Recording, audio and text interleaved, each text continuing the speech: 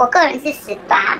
戴着口罩接受访问，这位被诈骗的 L 小姐语气当中充满无奈。原来她透过脸书加入一个股市社团，但没想到这竟然是诈骗的开始。就会有一个老师，他一直在呃都在股市讲评，然后会操作股市。他会再开一个群，就是里面都是币商，跟币商先换币，换完币之后，他会入金到那个系统里面，一起共同诈骗的人，他们就会有人头账户，都会呃人头账号。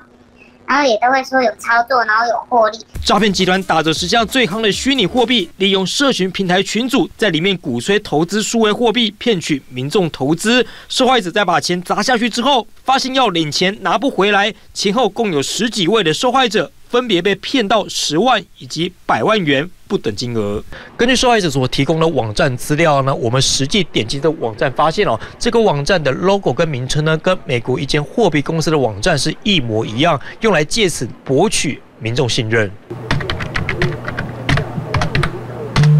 输入这名称，真的有这个网站，只是比较一下，几乎是以假乱真。而这个造假的网站，民众还得扫描 QR code 下载 App 登录资料。才能够开户。那当你要提领的时候，它就会变成一直审核中，然后不然就是也有跟共我们一起被害的人，也有的人是讲且有通过，但是他钱永远不会拨下来，这样。然后到后面就是把你踢群，然后也不会让你登录，你的账号就会显示错误的账号密码，这样。诈骗案件层出不穷。根据立委办公室统计，从一百零七年开始，连续三年都高达了两万多件，财产损失去年更是高达了。四十一亿元。我最近接到很多的澄清案，所以在这边还是呼吁相关的主管机关能够提醒民众，同时也希望警方或者是相关的调查单位能够积极侦办。立委呼吁相关单位要多注意，而民众在投资时也得睁大眼睛多看，避免类似事件再度发生。